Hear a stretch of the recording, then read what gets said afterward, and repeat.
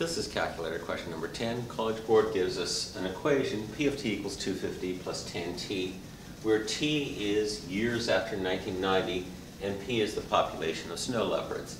And they ask which is the best interpretation of p of 30 equals 550.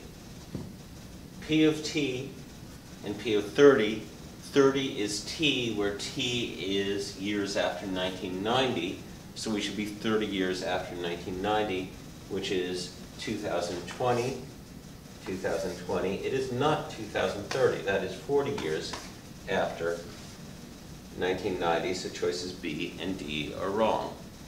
Now choosing between A and C, the question is, is the population predicted to be 30 or 550? Because P of T is the population and P of t is 550, so the population is predicted to be 550, which is choice C and not choice A.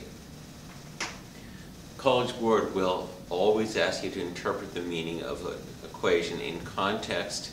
Make sure that you can read carefully to find the meanings of T and P based on the paragraph and match them to the correct answer choice.